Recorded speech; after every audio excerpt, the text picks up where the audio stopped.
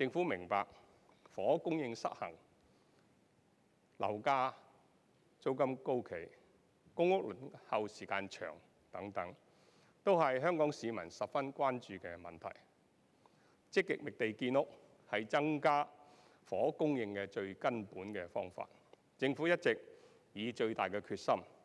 持之以恆，積極覓地建屋。經過多年嘅努力，政府已經覓得三百三十公頃嘅土地，可以興建三十一萬六千個公營房屋單位。呢三百三十公頃嘅土地裏邊，約三成半嘅單位供應係嚟自新發展區同埋大型嘅發展項目，約四成多係來自多幅嘅改劃用地，其餘兩成半係來自包括中地在內嘅其他項目。以上種種都反映政府多管齊下嘅土地供應策略咧係初見成果。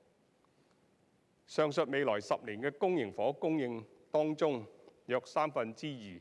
會喺十年期呢係隔後時間落成。不少項目存在呢係各種困難同埋變數，因此我哋定必係堅持努力，係絕不鬆懈。